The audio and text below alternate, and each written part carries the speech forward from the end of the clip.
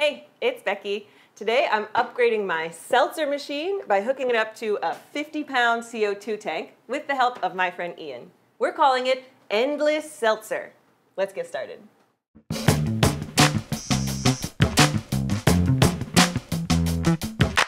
Hey, it's Becky. Today I'm upgrading my seltzer machine to make it go woo! Hopefully it doesn't go woo. Hopefully it just goes. Yeah, you want it to go Ian's a YouTuber who does mechanical engineering, electrical engineering, and computer engineering. And in his videos, he makes these super fun inventions and raffles them off to support good causes.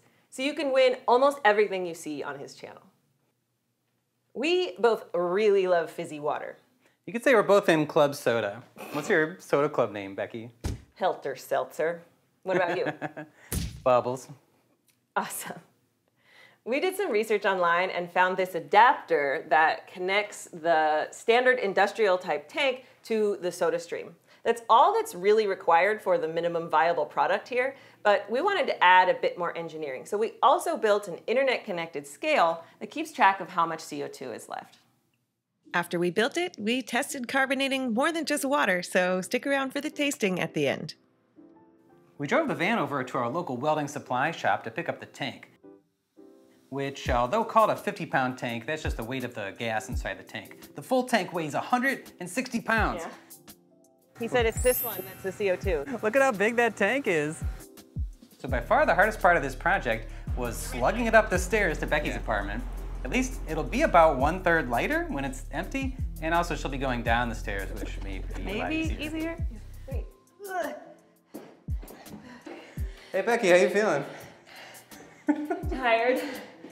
Remember when I suggested this as our YouTube collaboration? the fun part is still coming. the easy part of this project was ordering the electronics from DigiKey, the sponsor for this video. They carry absolutely everything and ship super fast. I put links to the parts I got for this build in the description. To build our scale, we're using load cell sensors. These are the same types of sensors as in your typical bathroom scale.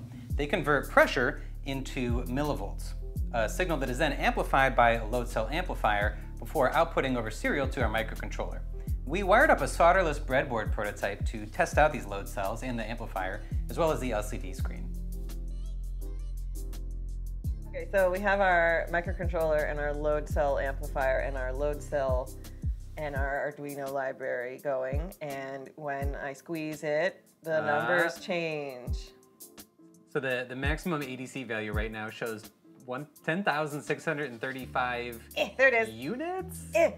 I think that means pounds because we we used the wrong uh, size weight for We the didn't calibrate it right, yeah, of course. But we've got numbers coming in, so that's promising. Ooh.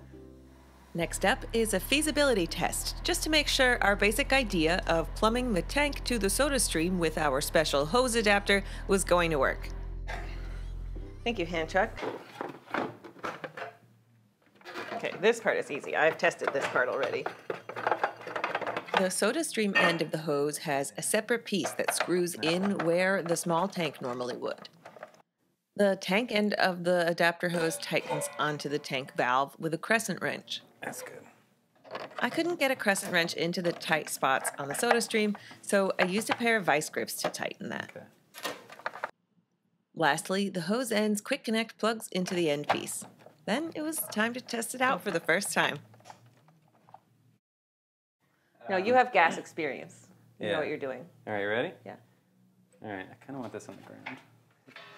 Just in case. Mm, anticlimax is what we were looking for. Excellent. All right, I've closed this back up. So all I've done is carbonated the line, or pressurized the line. Let's test some water. Yeah. Okay, here we go. Hey, big time. You hear that? That's the the exhaust cool. valve. For me, I like five pumps. Oh, it's really got a lot just in the line. It doesn't taste like welding. it tastes normal. Look at the fizzes. Oh, there's about to be a lot more fizz up in this house. Yeah. So exactly how endless will this 50 pounds of carbon dioxide be? Let's do the math. One liter of water, please. It's not a liter, it's 840 milliliters. I feel like that's relevant to the calculation. All right, I'll write that down. Like, who decided that was going to be the number? The bottle designers? Yeah. This one says 0.89 quarts. This is the American one, and this is the international. Get it out of one. here. I know. Okay. Right. We're using the We're these. briefly using SI units. This this one's gone. We're at uh, 1.743 kg. Okay.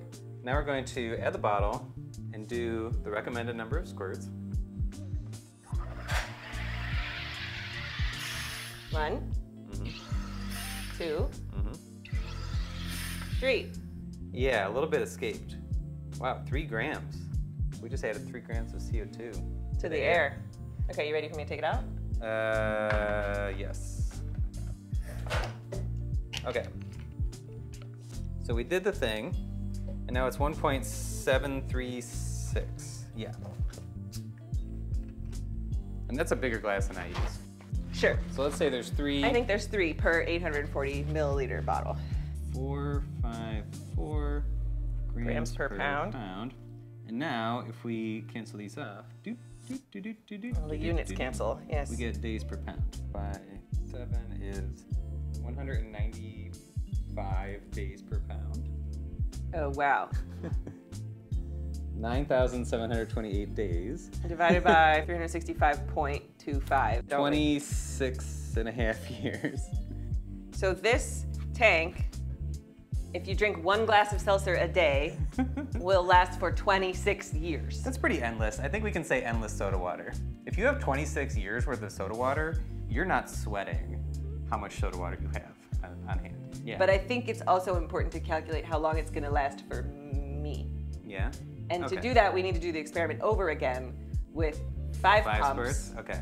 and uh, and one liter, one full bottle per day, not one glass. Okay. 2522 divided by 365.25 is 6.9 years. Hey, that's not too far off from our initial estimate before we even started this project that, uh, Yeah. that this would do six years of my seltzer. Mm-hmm. So remind me again, with your 50 pound CO2 tank strapped to the wall, how many times in the future will you be going to the post office with this bottle? Zero. Zero Zero. times. For the for for like the next month? No, for the next seven years. Yeah. Go team. I was also interested to calculate the cost savings this setup would generate over time. The big tank works out to about 18 cents per liter of carbonated water before the equipment cost is recouped, where the subscription canister produces seltzer that is about 38 cents per liter all the time.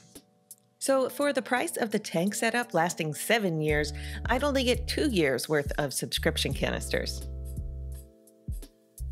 Next up, it's time to build the scale, starting with the electronics. We soldered up a perf board version of our earlier circuit prototype and attached the load cells with long wires. Typically, you would use four load cells to build a scale, one in each corner. Then a plate presses down evenly on the sensors, so there isn't a lot of clearance between the tall part of the sensor and the rest of it. We constructed the scale out of pieces of scrap plywood I had around, and then we reinforce the corners with pieces of metal so that the heavy tank doesn't just deform the plywood onto the sensor. The scale consists of a base piece, a top plate, four side walls, and a middle piece where the load cells will live, which also has a cutout for the electronics. No fancy woodworking here, just a few pocket holes to stick everything together.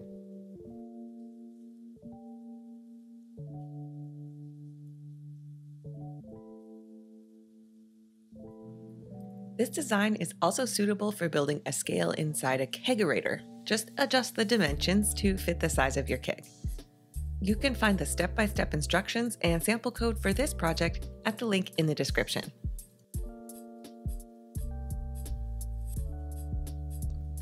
The microcontroller connects to the Wi Fi and lets me know how much CO2 is left.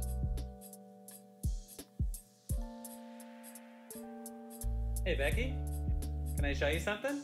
Take a look. Oh, Yeah. you've done it! You got 50 pounds. 50 pounds, 6 years, 10 months, 23 days. got so much CO2. Look, you got a new friend. What are you gonna call her? So we're gonna measure the weight of the CO2 tank, and then we're gonna add an offset factor so that our code will output this actual true value of the weight of the tank. Calibrating. Calibrating. Yes, calibration. And we're gonna put wood on the scale because the scale is glass. Ready? I'm ready. Not doing anything. How am I doing? Good, you're on. Okay. Wow. 160 and Go. Is it out? Mm-hmm. Ugh. 160 pounds. That's like almost you. So you don't have to build the electronics part of this project to enjoy the fizzy benefits, but you must understand the dangers of working with a pressurized tank of gas. If it falls over and the valve is damaged, the whole thing becomes a dangerous projectile, basically a missile. So the safety precaution we're taking is to attach a tank strap to the wall. Don't skip this step. Since we're mounting to brick, we picked up a specialized masonry bit in the size specified by our mounting hardware instructions and used the hammer setting on my drill to make the holes. The strap bracket then screws into the anchors. The tank and scale get into position. And the tank gets strapped in. I intend to keep the tank valve closed when I'm not actively carbonating, but just in case there were to be a slow leak, while it's not terribly likely, I wanted to take one more safety precaution since this thing is in my house. I picked up a carbon dioxide monitor with an alarm and installed it low to the ground near the tank. Oh, we need to turn the tank on. Is it safe to turn the tank on now? Probably. Let's see what happens. Righty, tighty, lefty, loosey, right? Mm-hmm. Did you strong tighten it? Uh, maybe. Oh, I got it. You got it? Okay. I'm strong. I didn't hear any explosion noises. No, I heard so a psst. That's good. Do I open it like all the way? All the way. All the yeah, way. it's designed to be open. All the way open? Yeah.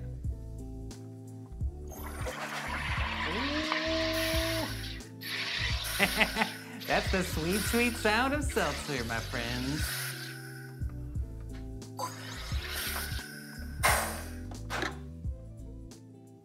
Uh, water's cool, but I feel like we could maybe carbonate some other things. okay, great.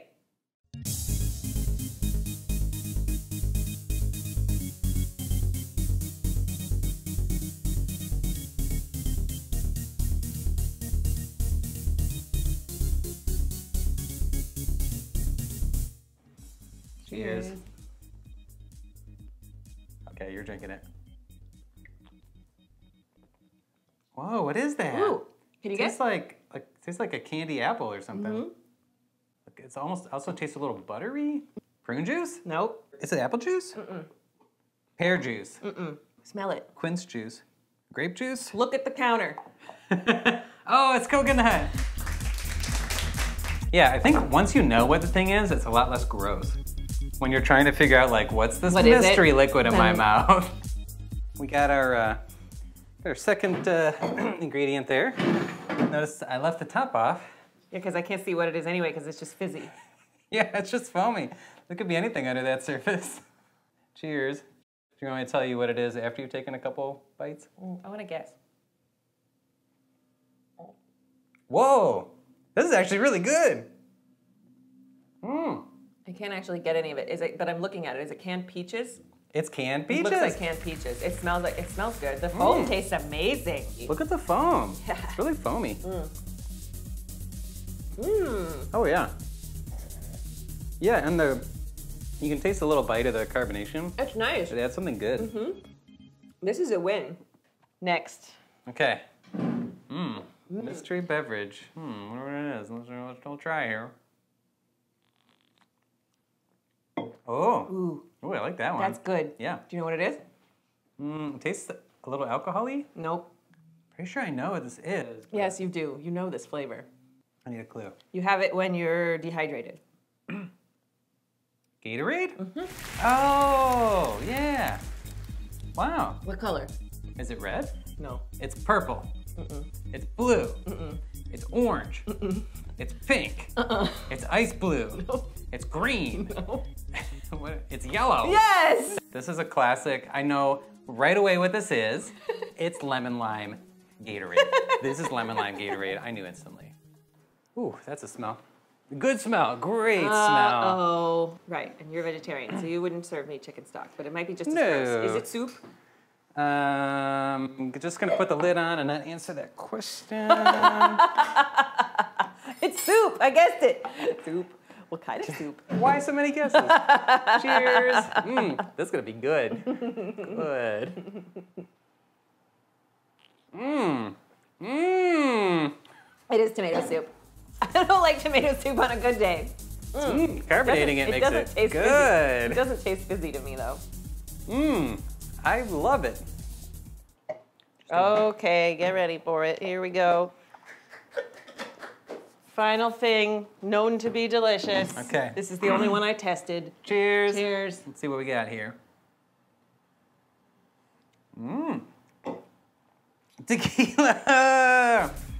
Margarita, but it's got tequila in it. Tequila in it. Yes, I got all three right away. Per- uh, perfectly right. Yes, you can taste the tequila. What do you think of the fizz? I like it. Yeah. Also, I like the tequila component. Yeah, me too. I like tequila. If you liked this video, please give it a thumbs up and share it with a friend. Be sure to subscribe to Ian's channel while you're at it. Thanks so much to DigiKey for sponsoring this video. Thank you so much for watching, and I'll see you next time. Bye. Welcome to my luxurious van. Mm-hmm. Behold the luxury. we call it Becky Mobile. We call it the Vandemic. Oh. We got it in November. We're gonna workshop that.